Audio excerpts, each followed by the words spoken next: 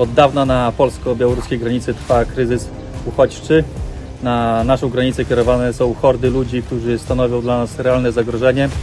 Są to często sami e, mężczyźni w kwiecie wieku, w sile wieku. My rolnicy, szczególnie ci, którzy mają pola przy granicy białoruskiej, silnie współpracujemy z e, funkcjonariuszami Straży Granicznej, z policją, e, z wojskiem.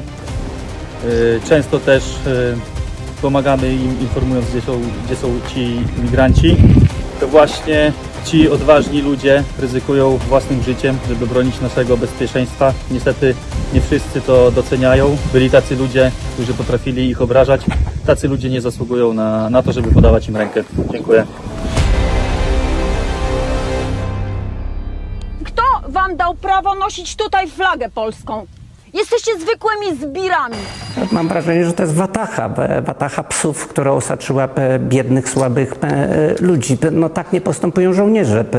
Śmiecie po, po, po prostu.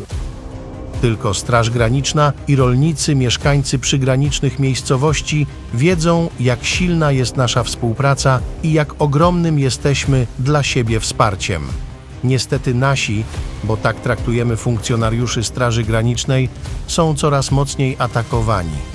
Nie będziemy dłużej czekać, aż ktoś zrobi z tym porządek.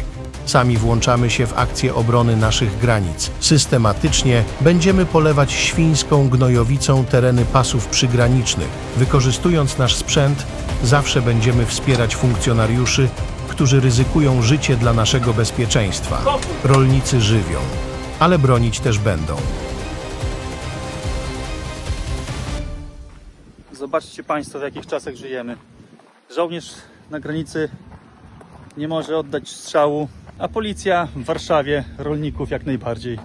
Może do nich strzelać gumowymi kulami, może ich połować. Jak my mamy funkcjonować, jak żyć? W jakim państwie my żyjemy?